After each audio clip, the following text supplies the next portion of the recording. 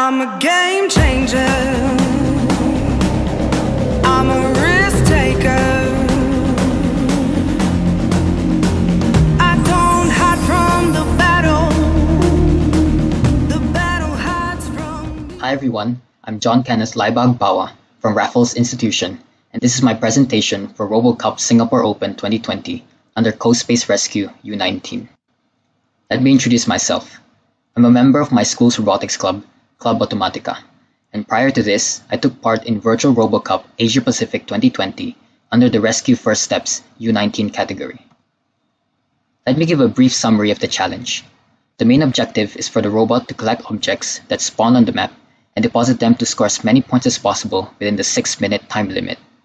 The robot also has to avoid traps to prevent losing objects and avoid leaving the field as there's a 10 second time penalty. To tackle this challenge, I came up with a solution which consists of three main parts. Firstly, basic functions that enable the robot to navigate around the map while avoiding traps and obstacles. Secondly, targeted movement which enables the robot to move to a specific area on the map. And lastly, scoring mechanics which enable the robot to collect and deposit objects in order to score points. The first part of the solution is basic functions, which involve the move, wall avoidance, and trap avoidance functions. Firstly, the move function enables the robot to navigate around the map at a certain speed and steering rate by controlling the values of wheel left and wheel right. For example, if the robot needs to turn anti-clockwise or towards the left, the value for wheel right must be higher than the value for wheel left. Next, the wall avoidance function enables the robot to avoid collisions with obstacles. The function is called when any of the ultrasonic sensors gives a low reading, meaning when the robot is near a wall and is about to collide with it. It calculates a proportional steering rate and the direction depends on which side the wall is on.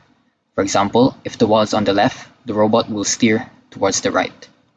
Finally, the trap avoidance function enables the robot to avoid traps, ensuring that any objects collected are not lost and points are not deducted. The function is called when either of the color sensors detects the yellow warning surrounding the trap. The robot then rotates at a set steering rate away from the trap until the yellow warning is no longer detected.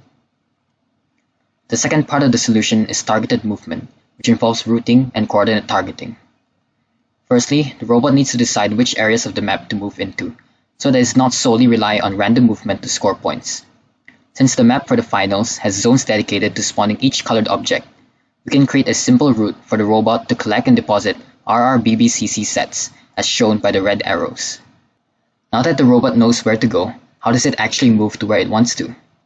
The target angle is the heading the robot needs to move along in order to reach the target coordinate. For example, if the robot is targeting a coordinate directly to its left, the target angle will be 90 degrees. It then calculates the angular error of the current compass reading from the target angle, and proportional steering is then used to turn the robot until it faces the target angle. However, since wall avoidance also produces a rotation, the resultant steering rate is calculated by taking a weighted sum of the steering rates from wall avoidance and coordinate targeting with wall avoidance taking a higher priority. The last part of the solution is scoring mechanics, which involve the collect functions and the deposit function. The collect red, collect cyan, and collect black functions enable the robot to collect the different colored objects. The function is called when either of the color sensors detects the corresponding colored objects. It also keeps track of the number of objects of each color that the robot has collected, so that it will not pick up more than two of them.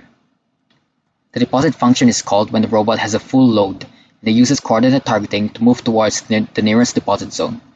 When both color sensors detect the orange deposit zone, the speed and steering rate is set to zero, and the LED is set to flash for 3 seconds. In conclusion, when trying to implement new features into the program, I often encountered many bugs and errors that would cause the robot to behave in an unintended manner. In order to fix these issues, I had to use logical reasoning to break the problems apart into its individual components and piece together the most effective solutions. This usually involved testing the math and logic on a smaller scale and rewriting functions to remove unnecessary code. This competition provided a great platform for me to program with more complex obstacles, such as swamps, signal loss zones, and the lack of a boundary wall.